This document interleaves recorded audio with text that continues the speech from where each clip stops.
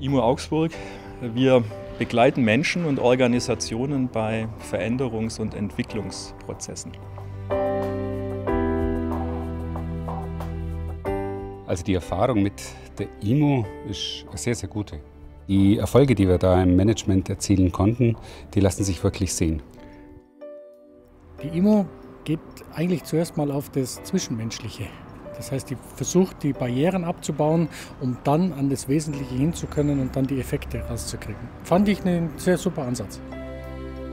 Ich finde es ein ganz, ganz tolles Konzept und bin auch froh, dass sie jetzt einen eigenen Standort haben, wo sie die Leute einladen können und da sind sie absolut auf dem richtigen Weg.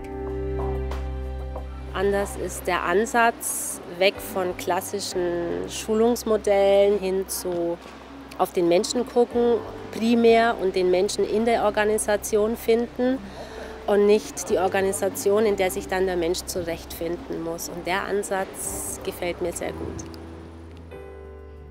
Ja, EMU ist natürlich für äh, die neue integrale Führungskultur, die ja ansteht bei uns, äh, der kompetente Partner, mit dem zusammen wir diesen Weg gehen können.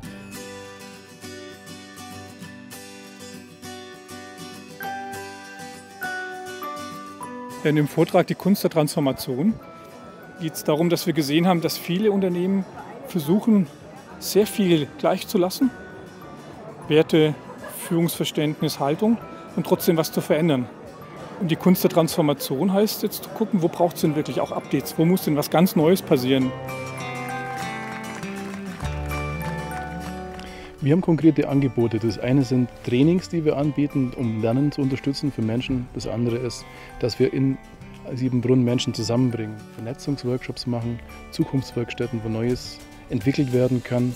Und für diejenigen, die dranbleiben wollen, gibt es Praxisabende, wo Lernen vertieft stattfinden kann.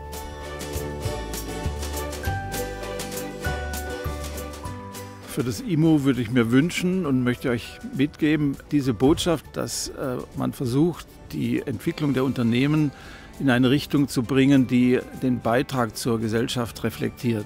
Und dazu wünsche ich euch alles Gute.